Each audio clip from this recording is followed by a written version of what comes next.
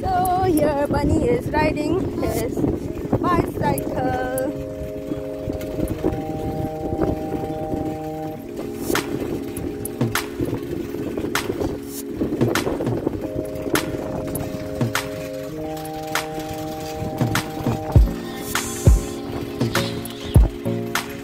Are you loving